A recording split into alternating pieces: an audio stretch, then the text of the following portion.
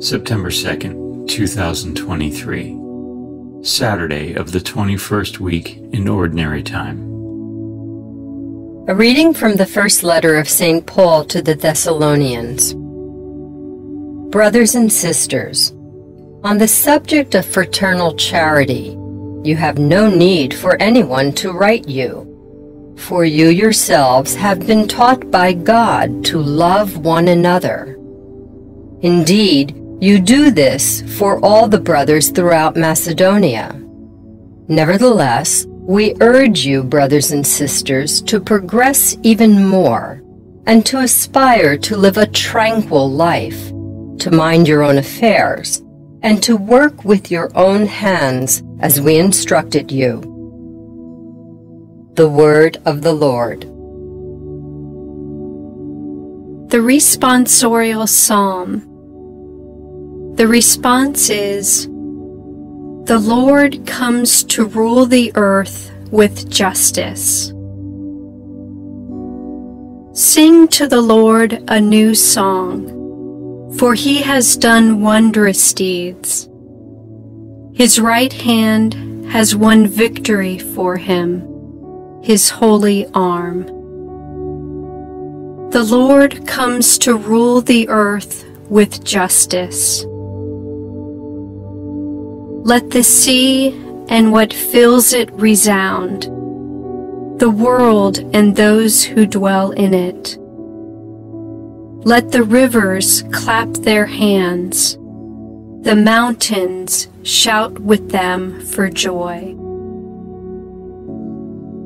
The Lord comes to rule the earth with justice. Before the Lord for he comes, for he comes to rule the earth. He will rule the world with justice and the peoples with equity. The Lord comes to rule the earth with justice.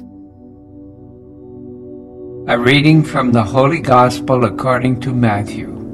Jesus told his disciples this parable.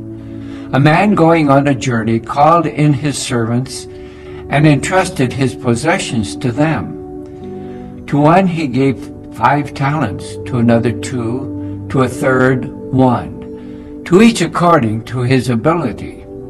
Then he went away. Immediately the one who received five talents went and traded with them, and made another five.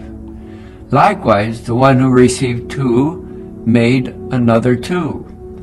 But the man who received one went off and dug a hole in the ground and buried his master's money. After a long time, the master of those servants came back and settled accounts with them. The one who had received five talents came forward, bringing the additional five. He said, Master, you gave me five talents. See, I have made five more. His master said to him, Well done, my good and faithful servant. Since you were faithful in small matters, I will give you great responsibilities. Come, share your master's joy. Then the one who had received two talents also came forward and said, Master, you gave me two talents. See, I have made two more. His master said to him, well done, my good and faithful servant. Since you are faithful in small matters, I will give you great responsibilities. Come, share your master's joy.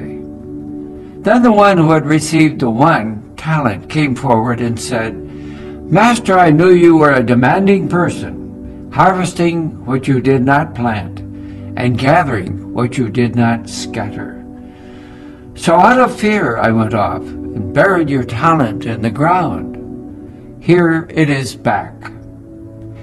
His master said to him in reply, You wicked, lazy servant.